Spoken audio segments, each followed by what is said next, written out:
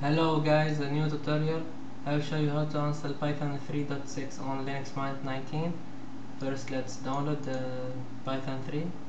So let's copy this and open terminal. And it starts to download, uh, so please wait. So you will find everyday new tutorial. So don't forget to subscribe to the channel to follow our news.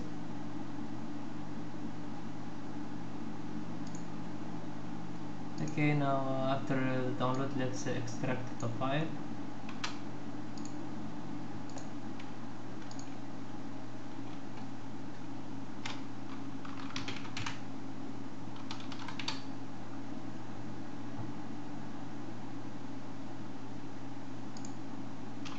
let's configure let's uh, go inside python.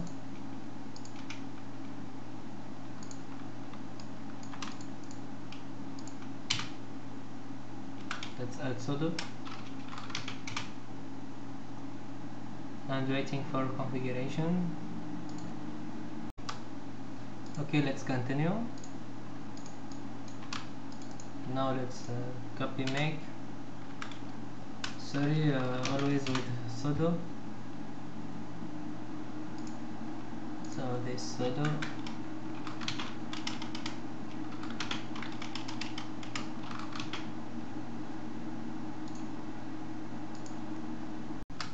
okay and finally let's execute uh, sudo make install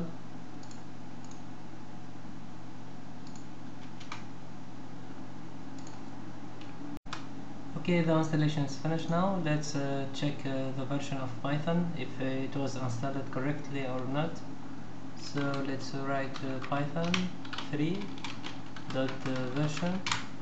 And here we see uh, the version of python installed is 3.6.3 so this is, is how to install python 3 on linux mint 19 thank you for watching and don't forget to subscribe to the channel. Goodbye